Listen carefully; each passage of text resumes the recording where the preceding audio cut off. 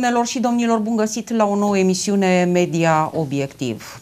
Pas cu pas ne apropiem de ziua de 27 septembrie când sunt alegeri locale. Avem de discutat astăzi despre o nouă candidatură. Este vorba despre viceprimarul Făgărașului Valentin Clonț, care candidează din partea Pro-România la funcția de primar și pe care l-am invitat în studio. Bună ziua, domnule viceprimar! Sărut mână, doamna Palade, vă mulțumesc mult pentru invitație, vă, vă salut cu drag, salut și telespectatorii dumneavoastră, făgărășenii. Așa cum uh, spuneam, de-a lungul timpului, cu siguranță, având în vedere faptul că sunteți făgărășan, lumea vă cunoaște, dar uh, ceea ce este foarte important, având în vedere că sunteți uh, tânăr și v-ați angrenat în această luptă politică cu ghilimele de rigoare, competiție politică până la urmă, Vreau să vă prezentați ce v-a determinat pe dumneavoastră să intrați în politică, de fapt. Da, a venit și timpul pentru, pentru a, a spune anumite lucruri. Așa este, sunt un făgărășan, născut și crescut în Făgăraș. Am uh, făcut uh, școala în uh, municipiul Făgăraș, uh, de la clasele primare până la liceu, la Colegiul Național Doamna Stanca. Uh, Uh, după această perioadă am uh, plecat în uh, București, unde am urmat studiile superioare. În timpul studiilor superioare, bineînțeles, ca orice student care are nevoie de un surplus, am, am și muncit.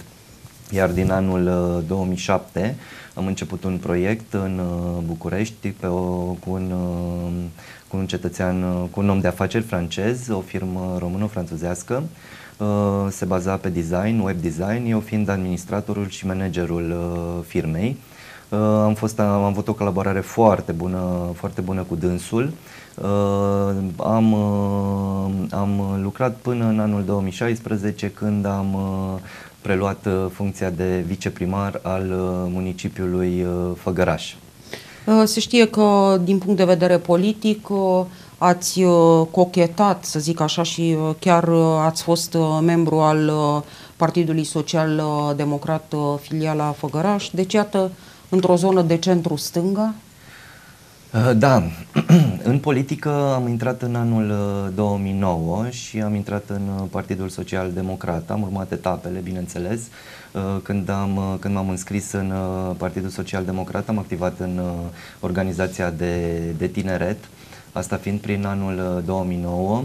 Uh, uh, ulterior uh, am fost vicepreședinte al acestei organizații, urmând a fi președinte, Uh, după o perioadă am uh, și uh, funcția de președinte al, al Organizației, de tineret. De tineret da. Țin minte că în 2009 erau alegeri prezidențiale. Da, așa este. Au fost, a fost erau primul, zile de foc atunci, a da. fost examenul dat de mine, da. să spun, în, în politică. Mi-a plăcut foarte mult, deoarece eram un grup, un grup de tineri mare, munceam cu drag, cu spor, Uh, deși nu am reușit să scoatem uh, nici în 2009 uh, președintele și nici în 2014, însă am avut alte succese. Am, au, au fost succese. Și a fost o experiență plane. până la urmă, da? A fost o experiență folositoare pentru că a urmat o perioadă în care am fost vicepreședinte la nivel local și vicepreședinte la nivel județean. Dar vedeți dumneavoastră cum este în toate, în toate partidele politice mari. Există și neînțelegeri, în acest fel s-au creat, uh, s-au creat uh, divergențe, neînțelegeri în, uh, în cadrul partidului.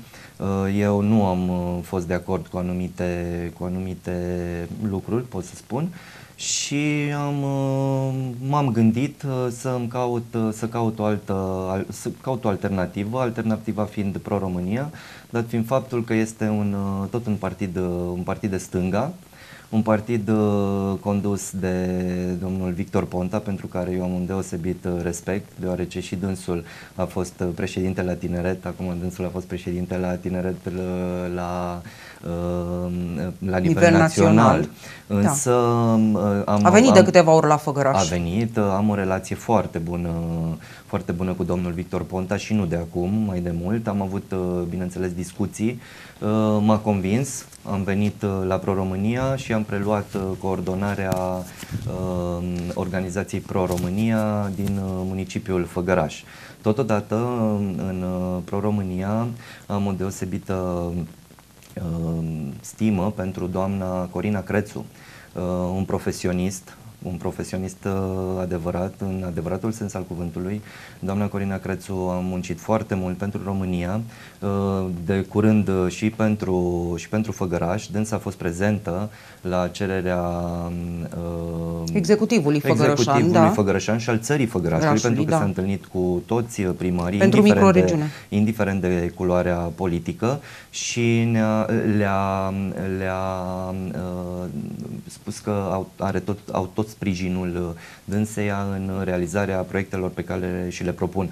Așadar, am uh, mari speranțe că din funcția de primar o să am mai mult ajutor din partea doamnei Corina Crețu, un ajutor binevenit pentru Făgăraș, și pentru făgărășeni în ceea ce privește atragerea de fonduri europene, deoarece dânsa este, a fost comisar european, actualmente este europarlamentar uh, în Parlamentul European. Cu siguranță are un cuvânt uh, de spus acolo. Domnule Valentin Clonț, să nu omitem faptul că uh, un grup, dumneavoastră alături de un grup de consilieri locali și de membri PSD, l-ați urmat pe deputatul Mihai Popa, fost președinte al uh, PSD Făgăraș, cu care ați colaborat. Da, așa este. Uh, l-am urmat, uh, l-am urmat pe domnul deputat Mihai Popa. Dânsul a trecut, a trecut prima dată la, tot din cauza neînțelegerilor. Da. Nu a trecut că a vrut dânsul să treacă sau au fost neînțelegeri. Alternativa este Pro-România, este un partid, este un partid de stânga, la fel ca și, la fel ca și partidul din care, din care am plecat. Și chiar mai mult văd că este o alternativă bună, deoarece liderul, domnul Victor Ponta, este cam singurul care face opoziție în aceste momente în, în Parlament. Parlamentul, da. Parlamentul României. Mai, da. mult, mai mult de atât, Domnul Mihai Popa este secretar uh, adjunct la organizația națională. Eu coordonez organizația locală a municipiului, uh, a municipiului Făgăraș. Bineînțeles, uh, cu susținerea dânsului. Acum, ce vă mai pot, ce pot să vă spun? Domnul Mihai Popa, vă dați seama, m-a ajutat foarte mult pentru că a fost, a fost președintele PSD Făgăraș. Să nu uităm că în anul 2016 noi, pe plan politic, pot spune că am câștigat alegerile în Făgăraș. Având în vedere avut, numărul Având în vedere de numărul mare da. de consilieri, șapte la număr, uh, număr, pe care, număr de consilieri pe care Partidul Social Democrat nu l-a avut în Făgăraș niciodată. Deci ați fost majoritari, am practic. Fost, uh, am fost majoritari după o muncă de 8 ani de zile, adică nu a fost ușor. Cum, uh, fiindcă ați adus vorba de Consiliul Local, câteva cuvinte, poate multă lume nu știe, dar cu siguranță mulți știu că uh, Așa e legea. Viceprimarul uh, are și competențe de uh, consilier local, deci ați fost în uh, grupul consilierilor locali. Cum vi s-a părut că a funcționat Consiliul Local în acești patru ani de mandat? Sunt sigur că toată lumea știe că viceprimarul este ales pe, listă, pe o listă de consiliu al unui partid. Uh, în urma, în urma la fin, după ce se finalizează, bineînțeles, uh, alegerile, uh, în prima ședință de Consiliu, din rândul consilierilor, este ales viceprimarul. Viceprimarul, practic, este ales de două ori. O dată de cetățeni pe listele de Consiliu, iar a doua oară de majoritatea consilierilor locali. Dacă mi-aduc bine aminte, în anul 2016 am fost ales cu, nu cu jumătate plus unu, am fost ales cu două treimi viceprimar. Uh, da, în uh, timpul uh, în timpul ședințelor de Consiliu sunt, sunt consilier local. Pot să vă spun că, din punctul meu de vedere, ședințele au decurs normal. Până într-un punct. Până într-un anumit punct. Știți că au apărut acum, pe final, către apropiere de alegerile locale, au mai apărut așa Bun, este divergențe. normal, este Da. normal să apară, să apară discuții. Discuții au fost dintotdeauna, însă discuțiile au fost purtate în, în comisiile de specialitate. Da. Acum a fost un punct mai fierbinte. Cred că vă referiți la Acea tragere a la tragerea pentru Creditului, ocolitoare. creditului, pentru ocolitoare, da. Da. Uh, în a, dacă nu mă înșel, cred că în anul 2017 am fost de acord pentru a face un credit pentru construirea ocolitorii. și într-adevăr, da, uh, auzeam că am depus un jurământ. Da, am depus un jurământ, iar acel jurământ uh, mi-l respect. Când am ridicat mâna pentru, pentru respectivul credit, am ridicat mâna pentru ocolitoare strict pentru ocolitoare. Da, au- creditul a fost luat pentru reabilitare străzii municipiul Făgăraș, dar noi toți uh, știam că este pentru ocolitoare. Uh, După lungi discuții, primarul ne-a asigurat că vom trage pentru a nu pierde acele sume, însă acei bani se vor duce, se vor duce la ocolitoare. În acest moment, uh, tragerea urmează a fi făcută pentru o parte din bani pentru reabilitarea, partea, uh, partea de cofinanțare pe care trebuie să o pună uh, municipiul Făgăraș în proiectul pentru cetate, pentru doamna Stanca și pediatrie. Uh, A treia tragere o să fie anul, în anul următor. Uh, Considerați bună metoda respectivă? Documentându-vă și uh, gândindu-vă exact la această măsură? Nu știu ce să vă În spun. calitate de viceprimar. În calitate, în calitate de viceprimar, cum spuneam și mai Da. devreme, viceprimarul are atribuții date de primar. Primarul Da. este ordonator principal de credite. Uh, Eu acum am mers pe mâna, pe Da. mâna dânsului că într-adevăr așa o să fie, că acei bani până la urmă o să fie pentru, pentru ocolitoare. Dar uh, vorbind, des, vorbind despre Consiliul Local, uh, am văzut în, uh, am citit în presa locală și bineînțeles pe site-urile de socializare în care, uh, pe care se spunea, în care se spuneau că noi, consilierii locali sau consilierii locali nu erau nominalizați, uh, pun bețe în roate proiectelor. Nu s-a întâmplat niciodată în decursul uh, acestor patru ani, nu s-a întâmplat niciodată să pice un, uh, un proiect. A fost bun, a fost, uh, a fost rău. Noi am mers... uh, A mai fost pus încă o dată pe ordinea de zi, Da. eventual nu? Da, a mai fost pus încă o dată pe ordinea de zi, s-a discutat, uh, până la urmă s-a ajuns, uh, s-a ajuns uh, la un consens. Bineînțeles, t- toate aceste discuții sunt uh, venite pentru, în, folosul, în folosul făgărașului și în folosul, uh, în folosul făgărășenilor, că până la urmă vorbim de banii, banii făgărășenilor. Banii municipiului sunt banii, sunt banii făgărășenilor. Uh, Contribuabili, uh, uh, cote defalcate din TVA și acești bani trebuie dremuiți cât mai bine pentru a, a se face, uh, pentru a beneficia municipiul de acești, de acești bani. Fiindcă ați adus vorba despre făgărași și făgărășeni, ieșiți pe stradă, cu siguranță bine. Acum au, au mai apărut uh, aceste restricții impuse de uh, pandemie. Cu siguranță aveți și noastră feedback uh, de la cetățeni, mai mult având în vedere campania de strângere de semnături uh, pentru depunerea candidaturii dumneavoastră. În principal, ce vă spun oamenii când vă întâlniți pe stradă, cât a stat de vorbă, cât a strâns semnături și așa mai departe?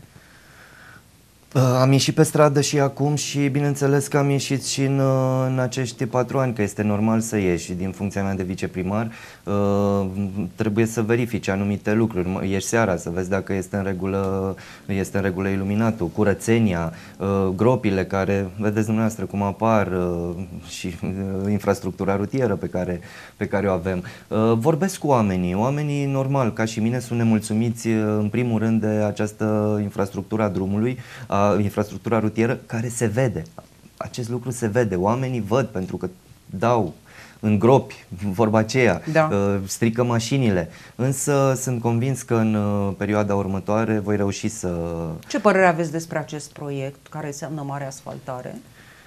Um, A intrat uh, în linie dreaptă acest proiect. Uh, Acest proiect a fost accesat în anul 2015, a întâmpinat uh, anumite dificultăți, uh, nu știu din, uh, din, ce, din ce motive și nu vreau, să, nu vreau să mă bag în această discuție, însă foarte important este că s-a ajuns uh, să fie, să fie încredințată lucrarea. Am văzut, uh, am urmărit, am văzut că firmele, cele două firme care au câștigat licitația au făcut organizarea de șantier.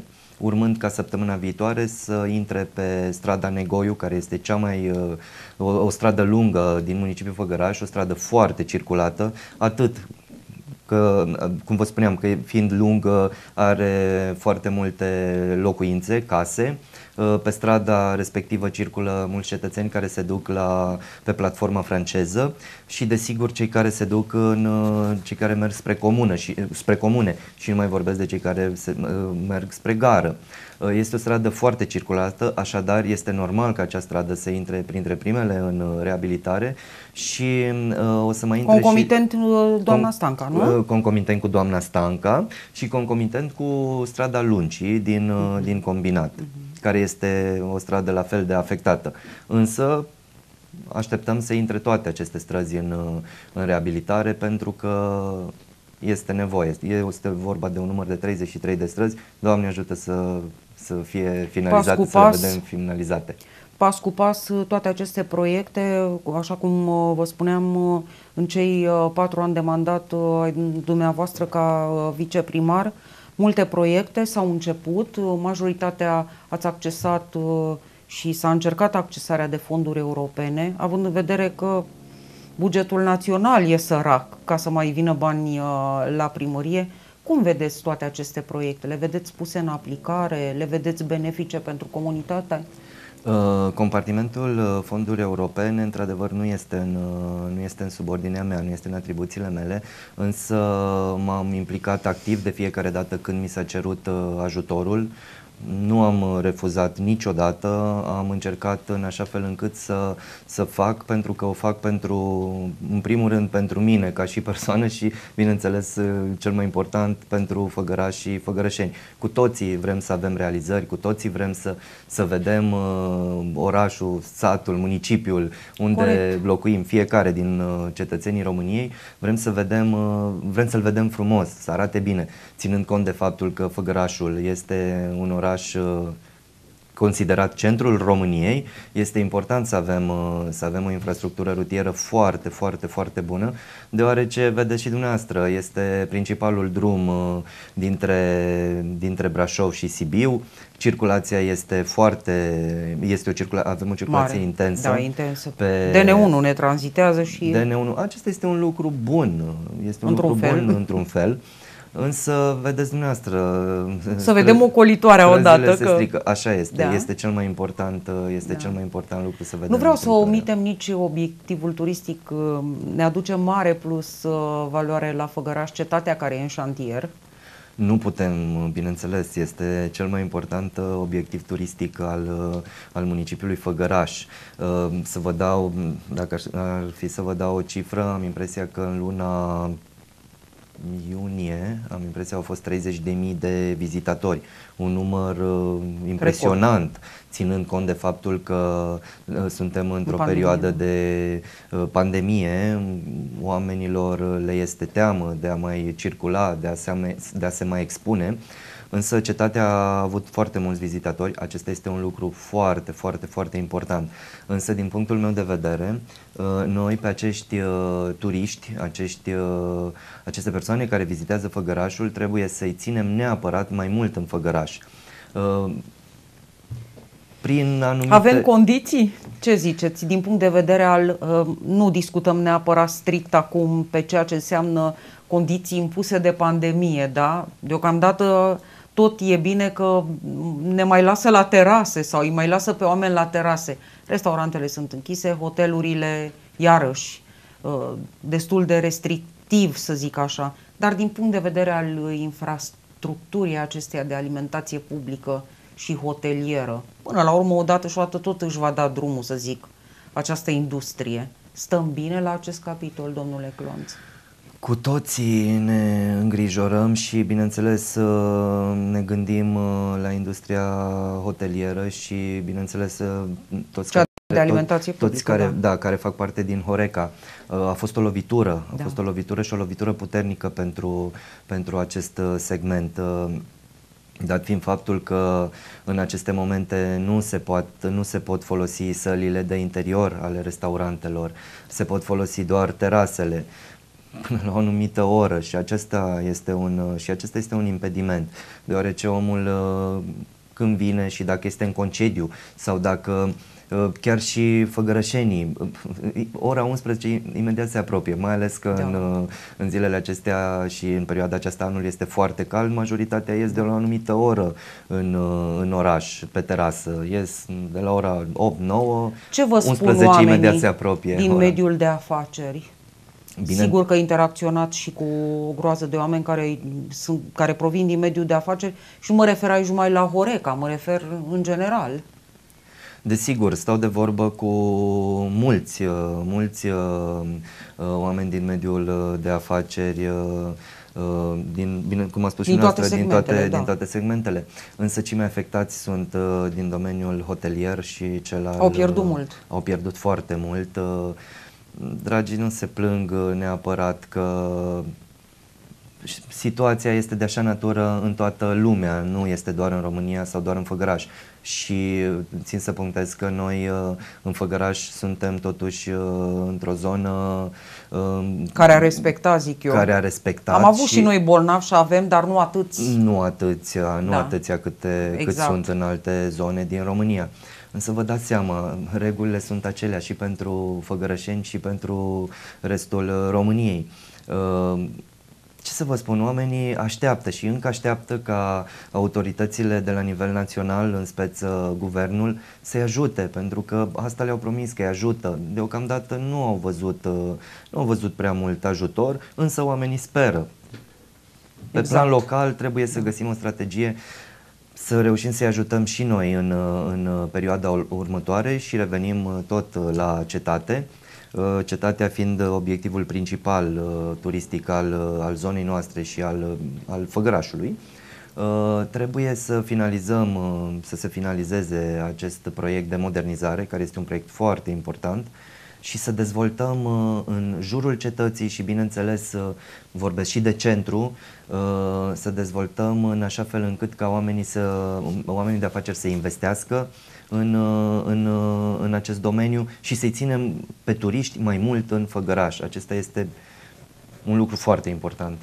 Ceea ce ne dorim este cu timpul să se refacă, au început deja să zic așa refacerile în centrul istoric uh, al Făgărașului, al clădirilor, care sunt foarte frumoase și dacă ar fi renovate, ar fi uh, nemaipomenit. Uh, domnule Valentin Clonț, pe final de emisiune vreau să discutăm și despre politică. Cum vi se pare scena politică la Făgăraș? Au apărut uh, niște schimbări din acest uh, punct de vedere, având în vedere faptul, uh, așa cum uh, l-am discutat de la începutul emisiunii cu dumneavoastră, aveți ceva vechime în politică deja, da, din aproape 11 ani, deja știți, ați văzut cam cum se învârt uh, lucrurile. Iată că în acest an au apărut mai mulți candidați independenți, s-au uh, uh, întâmplat niște schimbări uh, pe scena politică de la ALDE, de la PNL și chiar de la PSD. Păi, în Făgăraș vorbesc. Pornind, pornind cu mine ca și exemplu, cum vorbeam la începutul emisiunii, vorbeam cu dumneavoastră că și eu am, am, făcut, trecut, acea, da. am, am făcut această schimbare, am, am ales proiectul Pro-România. Au fost neînțelegeri și la noi. Bine că au fost, aceste neînțelegeri au fost acum un an jumătate, un an, un an jumătate. am tot respectul pentru colegii care se ocupă și care au rămas la PSD. Probabil uh, mai sunt persoane pe care le-am uh, adus chiar eu, chiar eu la PSD. Cei care au vrut uh, să vină, eu nu am chemat pe nimeni, cei care au vrut să vină Sigur cu da. mine da. au, venit, au venit cu mine. Este foarte important că noi am reușit, am reușit în acest timp să ne, să ne redresăm, chiar dacă timpul a fost scurt. Am văzut într-adevăr și eu în presa, în presa locală neînțelegerile din Partidul Național Liberal.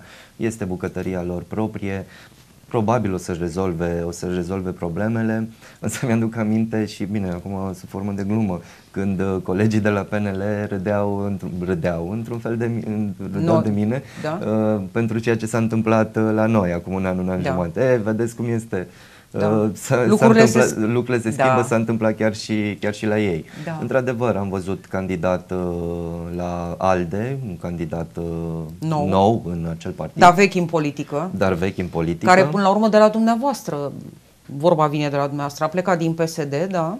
Așa este și, bineînțeles, candidați independenți, eu tuturor le, le Mai doresc. mulți, iată, Mai, decât da, ca...